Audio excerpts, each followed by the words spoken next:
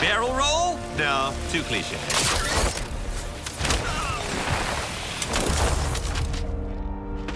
Haven't found anything yet.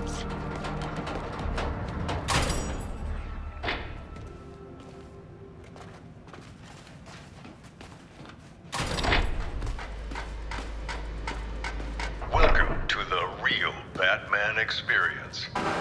I'm Jack Ryder, author, presenter, investigative journalist, curator of the exhibit.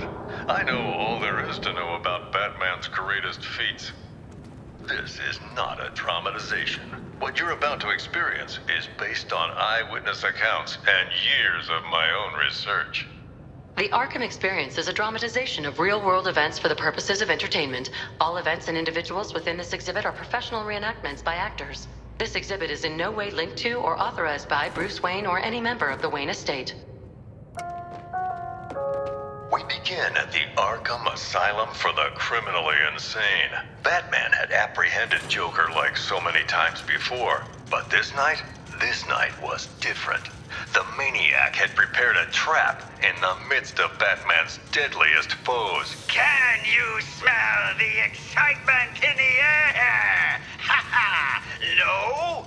Must have been one of the guards then! Croc, old boy! Is that you? I've got your scent, Batman. I will hunt you down. Joker sprang nearly every killer in Arkham. Don't like to think about it, but uh, at least I made it out. Great night for a party! Some party. Batman was able to thwart Joker's schemes, but the seeds of evil planted that day would only grow.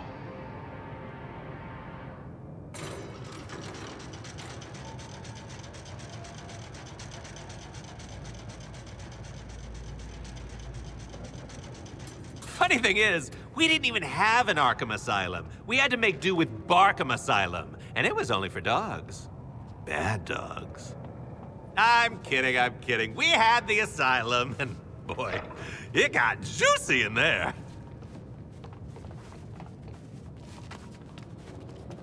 As a last resort, Joker used his own experimental Titan mixture. The super serum warped his body to match his twisted mind. But it wasn't enough to defeat Batman. So, this is what, a third Joker? Hmm, It's like looking in the mirror at the gym in hell. Harley Quinn, once a promising young psychiatrist, she returned to the asylum to terrorize it as Joker's sidekick. If she was just the sidekick, your Joker's getup must have been skimpy. Me? I don't lace my corset that tight. Need room to laugh.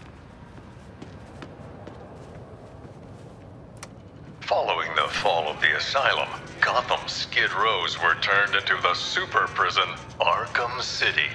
An urban hell where the only rules were made by the villain ringleaders and their gangs. I know, I was on the ground, and so was Batman. The only way to get by in this place is to get ourselves some respect. Fear! That's how we get respect! Show them all how we do things! Ah, you know, if you, you pick the right side and then piss off the boss, you're set. At least, uh, till the bat showed up anyway. Bring out the defendant!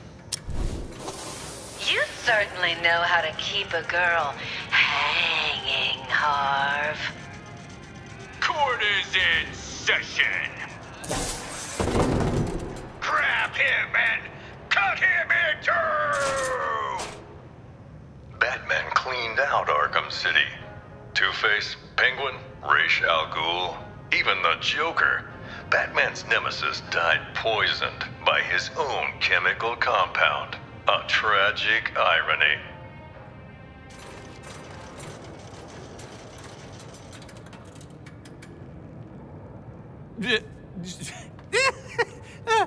Just to be clear, they turned Gotham's low-income neighborhoods into a privately owned prison state. And it didn't work. well, there goes my pitch for mayor.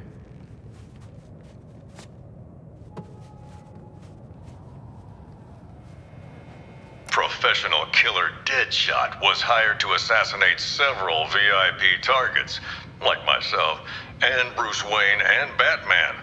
Close calls with death that night. I love this take on Deadshot. Very problematic. Batman and Joker's rivalry finally ended in Arkham City.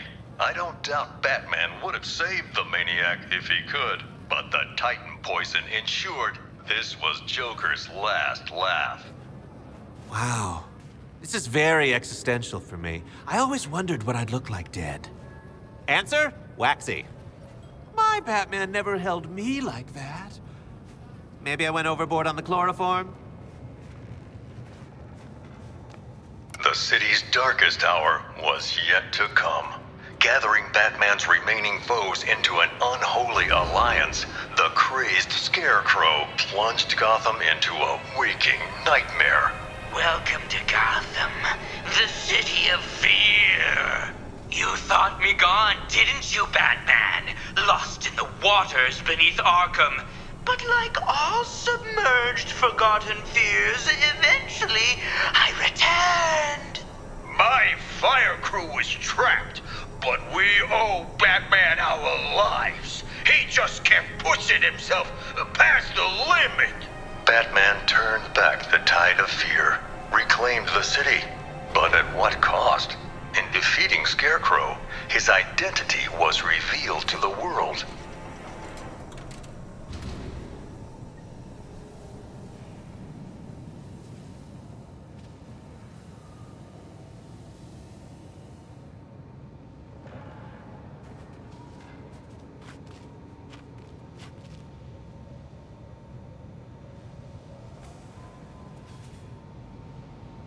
Scarecrow?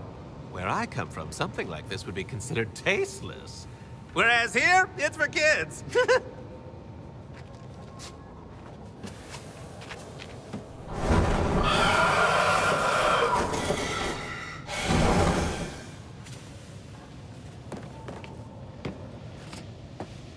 Who was the Arkham Knight? The mysterious figure seemed to aid Scarecrow, but vanished after his defeat. I believe his methods were very similar to the vigilante Red Hood. Who was the Arkham Knight?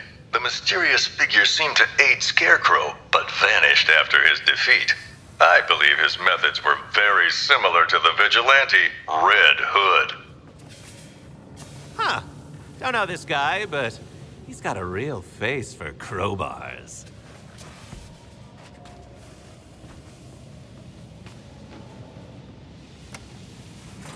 Bruce Wayne's apparent death sent shockwaves through Gotham City.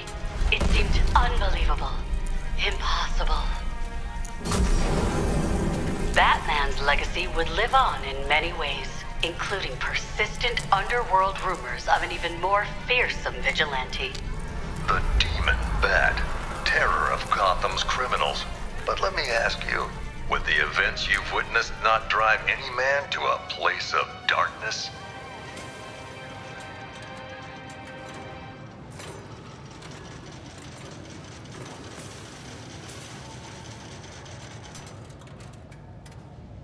See, what I like is he could have called himself Money Man, but he went with Bat. And that's a choice.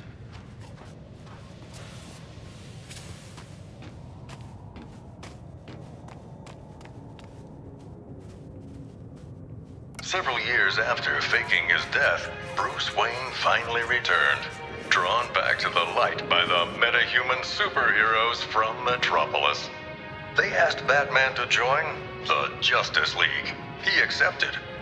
And so, the story of Bruce Wayne, the Batman, continues, far from the mean streets of the city that made him. I'm Jack Ryder. Thanks for taking this journey with me.